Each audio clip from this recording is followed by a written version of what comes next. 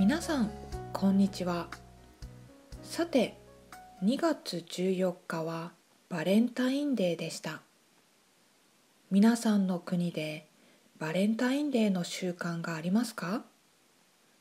日本でバレンタインデーのイベントは定着しています。バレンタインデーというカタカナの言葉からわかるように外国から日本に入ってきたイベントです。ですが日本化され日本独自のスタイルがあります。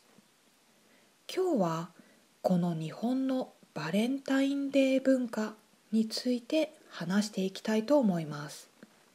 どうぞよろしくお願いします。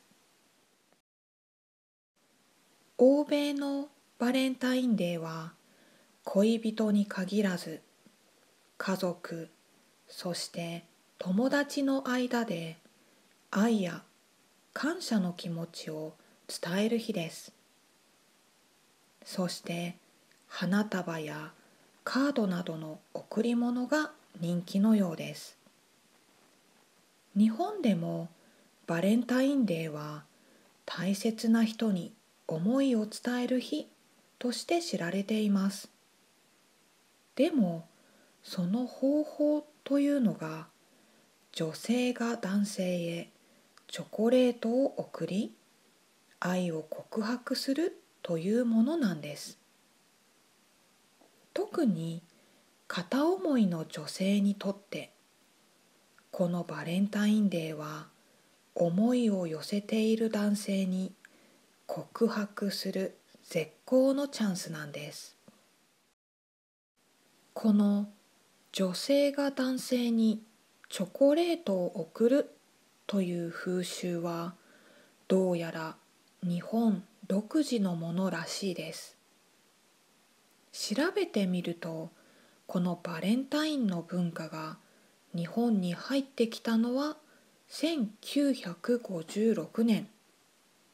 その当時は服や化粧品などもプレゼントされていたし特に女性から男性へプレゼントを贈るというわけではなかったようです。家族間でもプレゼント交換がされていたようですよ。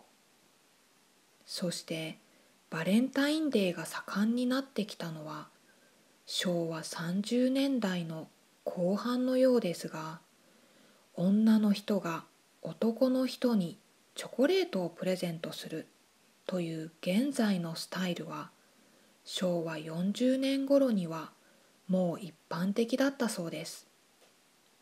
昭和40年というと1965年ですね。バレンタインの文化が日本に入ってきてまだ70年ほどですが認知度はとても高いです。データによると日本のチョコレートの年間消費量の20%はこのバレンタインデーだそうですよ。すごいですね。この数字からもバレンタインデーが日本で大きいイベントだということがわかると思います。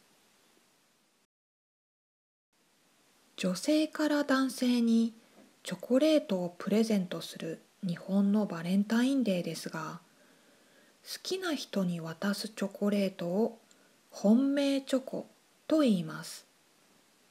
1980年頃になると義理チョコも登場します。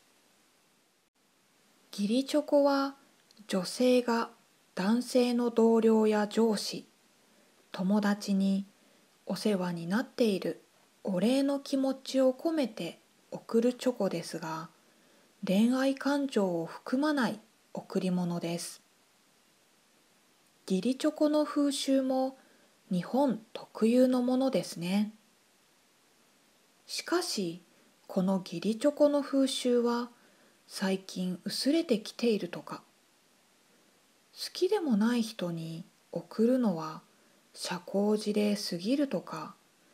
会社の同僚にあげるとなるとかかる金銭的負担もバカにはならないし他にも理由はいろいろあるようです。その代わり新しい形のチョコも生まれています。自分にご褒美としてあげるマイチョコ友達とあげ合う友チョコ家族と一緒に食べるファミチョコ。それから男性から女性に送る逆チョコなどです。バレンタインのシーズンになるとデパートやお店で可愛くて美味しそうなチョコレートが販売されます。ラッピングもとても素敵で私はいつも自分も欲しいなぁなんて思っていたのでマイチョコには賛成です。プレゼントに限らず自分でも楽しまなくちゃもったいないですね。この頃はチョコレートだけじゃなくワインや衣服など実用的なプレゼントも人気になってきました。チョコが苦手な方には嬉しいですよね。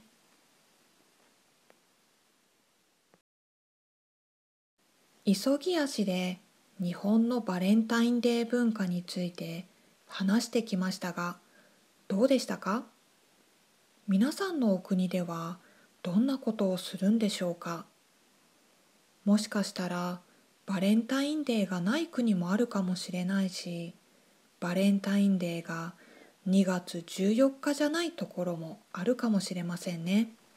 何か面白いイベントがあったら教えてください。では今日のポッドキャストはここで終わります。皆さんお疲れ様でした。そして聞いてくれてありがとうございました。それでは皆さんまた今度。お体にお気をつけて。ぜひ私のバイミヤコーヒーのサイトに来てくださいこのポッドキャストのスクリプトや質問シートが手に入りますぜひこのポッドキャストをリスニングの練習に使ってくださいね。それではお待ちしております。チャンネル登録といいねボタンを押してくれると私のやる気がチャージされます。ぜひよろしくお願いします。